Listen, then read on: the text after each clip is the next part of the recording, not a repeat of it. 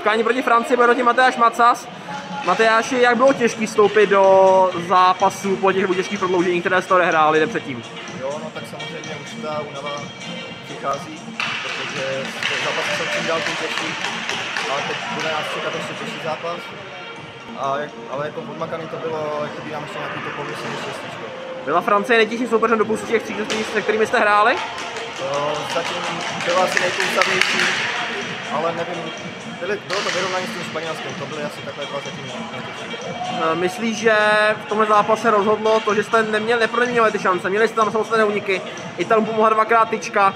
Myslíš, že tohle bylo to alfa omega toho, proč jste dneska nebrali body? No, myslím si, že padlo hodně tyček, takže nějaký to štěstí nebylo, ale doufám, že se to, doufám, že se to nějak prolomí, ale začne to tam padat. Nehráte se Švýcarskem poslední zápas vlastně dnešního dne. Eh, Víte, co by na Švýcary mohlo platit? Máte nějaký způsob načtené? No, asi budeme hrát tu stejnou hru jako začátek s Francií, to jsme hráli první třetinu, nebo polovinu jsme hráli dobře. Pak už to ukleslo, ale střílet hlavně, no.